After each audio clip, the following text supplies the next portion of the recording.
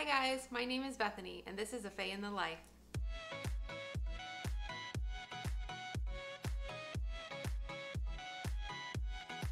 Today we're going to be making my zero point pasta sauce with the option to add meat for three points. I'm pretty picky when it comes to my pasta sauce, so I always prefer making my own versus buying one at the store. This recipe is super easy to make and makes eight servings. On personal points, you even gain back a point for veggies. You can even modify the recipe to add meat. We like to splurge a little and use the 93% lean ground beef. Using the ground beef makes each serving three personal points for us. If you use 99% fat-free ground turkey or chicken, you can keep the sauce zero points if those are zero point foods for you. This sauce is a great base for you to truly make your own. Feel free to add additional veggies like mushrooms or even spinach.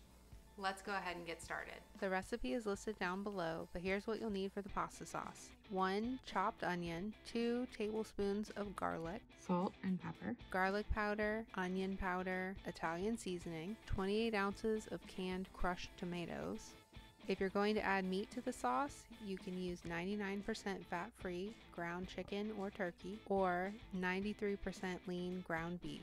Start off by heating some cooking spray on medium heat. Add your onion, garlic, and seasonings. Mix well. Stir often until the onions are translucent.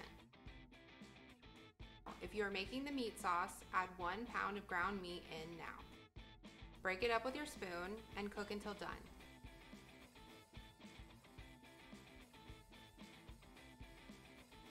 Drain off any excess fat or liquid once it's done cooking, then add it back to the pan and return to the stove. Both sauces are the same from here on out. Add in the crushed tomatoes and stir well. Lower your heat to a simmer and stir frequently until the sauce thickens to your liking. You can make this sauce ahead and store it in the fridge in a sealed container for about a week or keep it in the freezer for about a month. This sauce can be great on homemade pizza or in any pasta dish.